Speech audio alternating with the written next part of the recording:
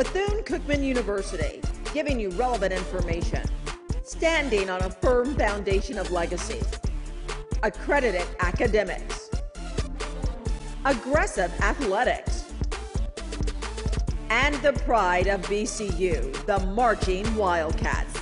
You're watching Webcat News. Hi, and welcome to Webcat News. I'm Cecily Wilson. Let's get you plugged into what's happening right here on campus. When Dr. Mary McLeod Bethune founded this institution, she laid out her expectations for each and every student. It was called the President's Convocation, and over the years, it's developed. Our current president, Dr. Trudy Kibbe Reed, continues the legacy of our founder for a new class of students. Webcat correspondent Daphne Corville has the story. One of the reasons why we don't want to work with one another is because we forgot our name.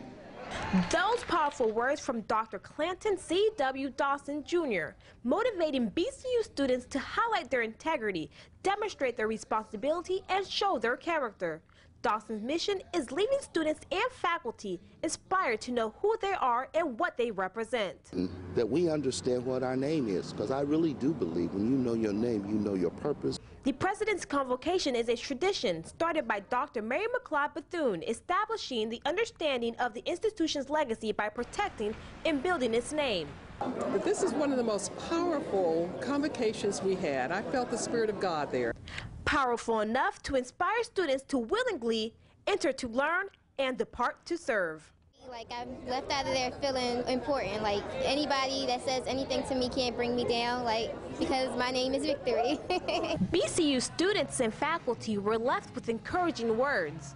But the one key point is to know your name. Victory.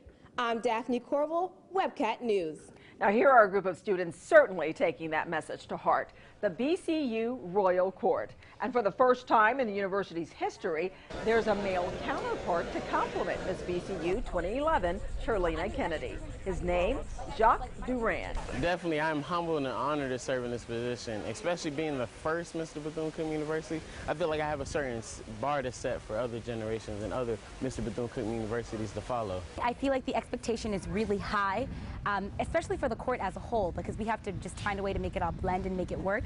Uh, but I do like to remind people that it is all of our first time being queens and kings of this institution. So we're, we're doing our best and we're working to do everything we can to make this Royal Court the best Royal Court that Bethune-Cookman University has ever seen.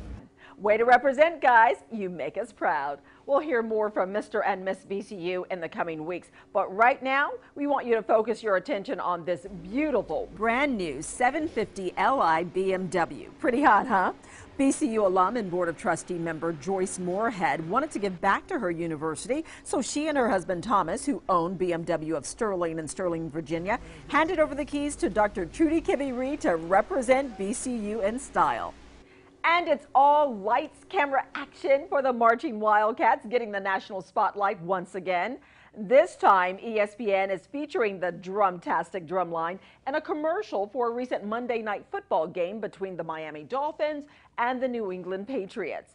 The 46 member line put in a full day of work for their moment of fame. It was an honor for us to uh, actually get the call from ESPN to, to do the commercial. So, you know, that was uh, an experience. You know, you get that call and you say, wow, somebody's choosing us to do this uh, where you're going to be viewed uh, 40 million people. Anytime that you can be on uh, national TV, you know, and the exposure that gives the uh, institution, that's always a great day.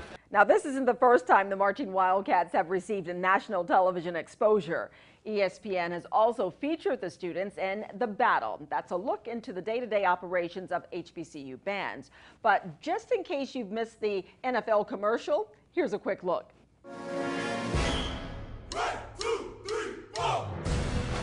face to face. Time after time.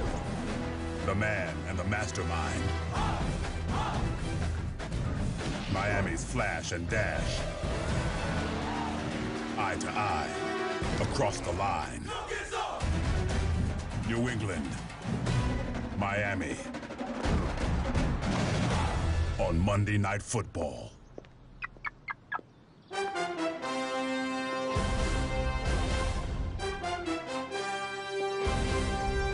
Now, who has the best band in the land? You already know. And speaking of the best, the 2012 Honda Battle of the Bands is coming up January 28th. And who will be participating? Well, that all depends on your vote. So go to HondaBattleOfTheBands.com to register and vote for our Marching Wildcats.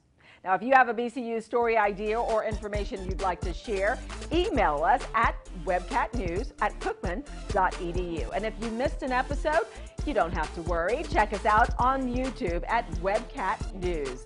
Thanks for watching, and we'll see you next time.